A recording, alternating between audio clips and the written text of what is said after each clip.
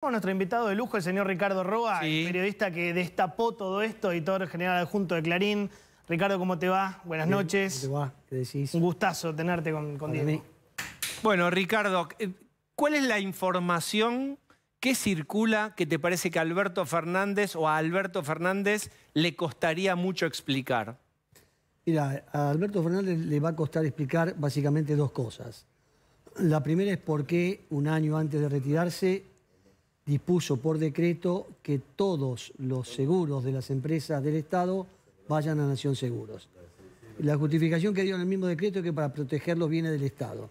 En realidad, en el contrato que nosotros contamos y que volteó el, el- interventor Giordano en Lancés, ¿qué se probó? Se probó primero que ese contrato no era necesario. Segundo, que entre Lancés y Nación Seguros pusieron un intermediario con una comisión del 17,5%. Y finalmente armaron otra caja por detrás porque Nación Seguros solamente tomó de los créditos de ese seguro de vida que habían contratado el 25%. El otro 75% se lo dieron a empresas privadas. Es decir, que esos 20 mil millones de pesos que le tenía que dar la ANSES al, al Banco Nación, la tajada del León se la llevaron de, de los privados. Y ya sabemos que cuando hay contactos, negocios entre empresas del Estado, es fundamental que haya un privado para que haya un robo. Eh, Ricardo, tenemos un urgente que lo tiene Nicolás Viñaski. ¿Podemos tirar el urgente? Le pregunto a la, a la producción y, y lo tira Nico porque lo tenés chequeado. Dale, información urgente, vamos. Dale.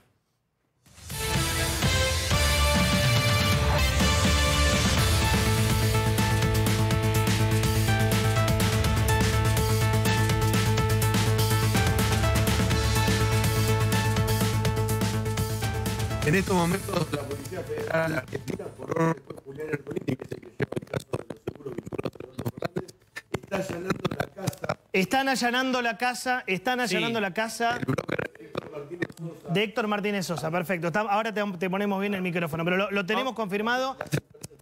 Y las empresas también. Espera, Perfecto. vamos a recordar, Héctor Martínez Sosa es el esposo de la secretaria histórica de Alberto Fernández. Perfecto. La frase de Alberto, de una de las eh, pocas veces que habló, se manifestó al respecto. ¿Recordás, mi querida Fabiola? ¿Cómo no? ¿Cómo si no? mi secretaria hizo tal o cual cosa, se excedió, deberá explicar. Un poco le pasó la pelota en, en su primera aparición Alberto Fernández a su secretaria. ¿Podía Alberto Fernández, Johnny, no saber cómo se direccionaba esa póliza gigantesca? A ver, Ricardo, ¿podía, ¿podía no saber Alberto Fernández mientras confirmamos que están allanando la casa del broker?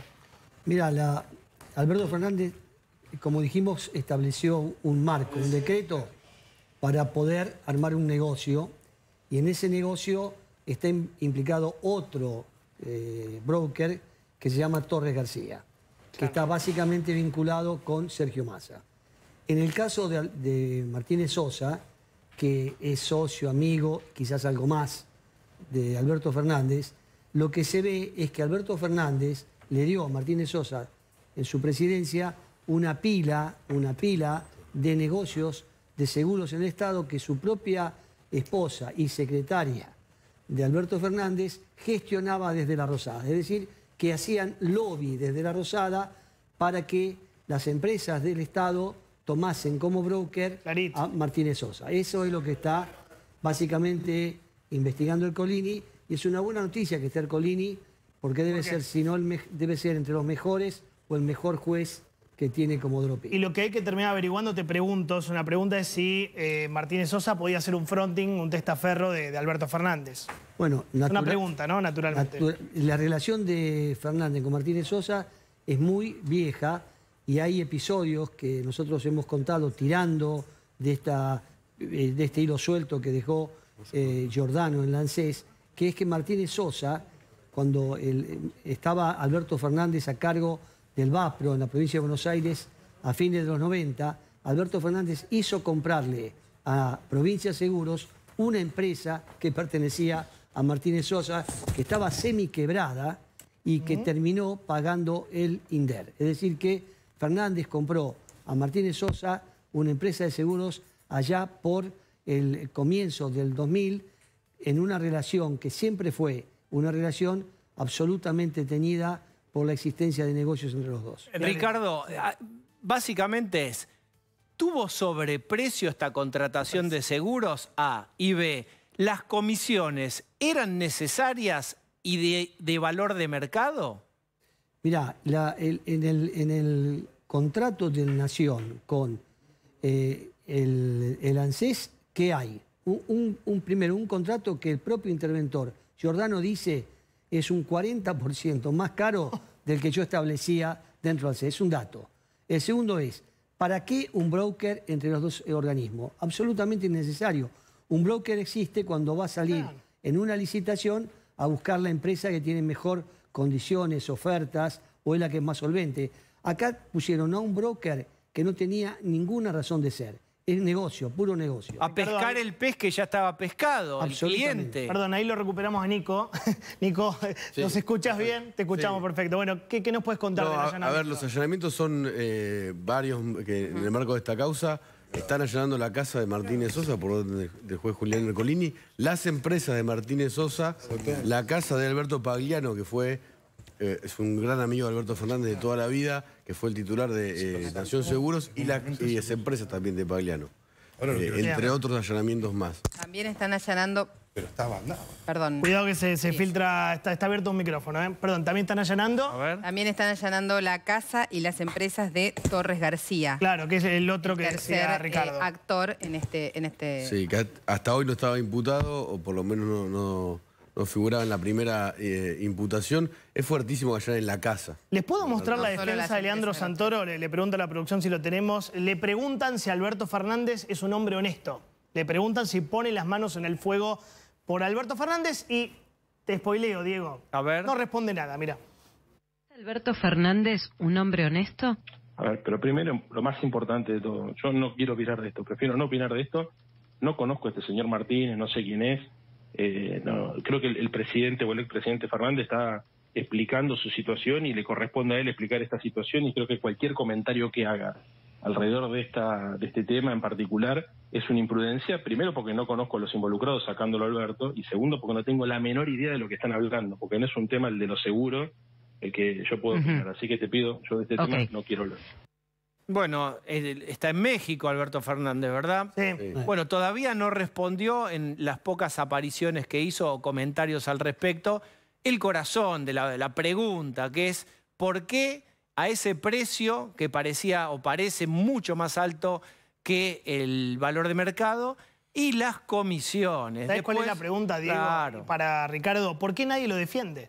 Cristina obviamente no lo va a defender, Kicillof no lo defiende, la CGT no lo defiende, ni Santoro, que era su amigo, ¿por qué nadie lo defiende? ¿Este- ¿Está complicado en serio? Mira, yo creo que no es que no, no solo no defienden a Alberto Fernández.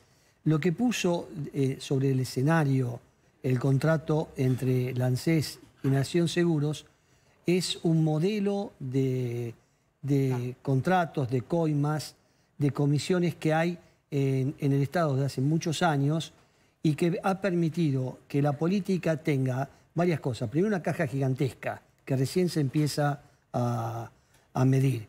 Segundo, que tenga una caja mensual, es como un salario del político, porque todos los meses reciben una comisión de un contrato sin hacer eh, absolutamente nada. Tercero, en esos eh, contratos, en esos negocios que hay con los seguros, siempre hay en el Estado un privado, porque sin privado no hay negocio. Y además hay que tener en cuenta que todavía falta por ver lo que dicen es el- el- la parte gorda de este negocio, que son los reaseguros con dólares en el exterior. ¿Cómo es eso? Esto es que algunas aseguradoras tienen, por necesidad, otras simplemente por conveniencia, empresas en el exterior que, en, en las que se reaseguran por un riesgo. En, en algún caso está muy justificado, que es, el- por ejemplo, el- las empresas aeronáuticas, las navieras, Claro. que pueden tener un problema ecológico. En otras hay un caso famoso, en la UOM, el que tenía el seguro de sepelio de todos los trabajadores, se reaseguró en el exterior para armar una caja en dólares, Julio Raeli. Es un caso conocido, terminó además en un escándalo cuando uno de los abogados de la UOM fue detenido con 800 mil dólares y los, miembros de la conducción de la UOM fueron procesados. Claro. Es decir, es un modelo que existe, que mucha gente sabía que existía y que no hablaba. Y que por esta situación puntual del contrato entre Nación y sale, a- em- sale a luz o empieza a salir a luz. Ricardo, tenemos que cerrar porque ya está el ministro del Interior, Guillermo Francos. Hola Guillermo, te saludo. Está llegando el ministro de Justicia, Cunio Libarona. Hay, hay de todo. Te pregunto por lo de Telam. Me parece que sería desperdiciarte si no te preguntamos, ¿no? Por el, por el cierre de Telam. ¿Qué, qué mirada tenés? Hoy salió, no sé, tenés la foto de Baradel y Catalano a decir todos somos Telam y todo esto, ¿no? Mira, Telam para los periodistas es, es un tema difícil de hablar porque ninguno de los periodistas estamos a favor de, de cerrar empresas, por supuesto. Con Telam hay lo que todos conocemos hace mucho tiempo, que es en, en la- en el cambio que hay en la industria periodística, las agencias como Telam han dejado tener- de tener razón de existir. Y, y- y además, cuando hay una crisis como lo que hay en la industria periodística, las empresas se achican, no es que se amplíen. Eh, y Telam ha ido a contracorriente en eso también, porque cuando no había espacio para una empresa como, como Telam, no solo, digamos, decidió achicarse, sino aumentarse. El tercer elemento que hay que tener en cuenta también es que en los gobiernos kirchneristas Telam ha sido no una agencia periodística, No, claro. sino básicamente una agencia de propaganda del gobierno. Y esto es un tema que no solo ha pasado en Telam, sino en los medios públicos que fueron convertidos en medios políticos. Yo solo te recuerdo políticos. algo. ¿Te acordás el cumpleaños de Fabiola? La, fiesta de Olivos. Bueno, eso fue el 14 de julio de 2020.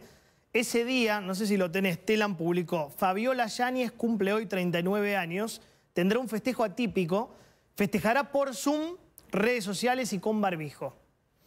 Para que no nos olvidemos también, y con esto corro a los, a los trabajadores, ¿no? Estoy hablando de lo que hizo la agencia políticamente, que era militar, incluso mentir. Esto fue una operación de prensa porque luego quedó corroborado que fue la fiesta VIP, ¿no? El festejo en Olivos. Absolutamente. Ricardo, gracias. Eh, Gracias un, lujo de verdad tenerte. Y bueno, si tenemos más información de- del tema de Alberto, te vamos a convocar. Muchas gracias a ustedes. ¿eh? Johnny, ¿la Diego, seguimos querido, mañana? Sí, tenemos por delante un programón. Tenemos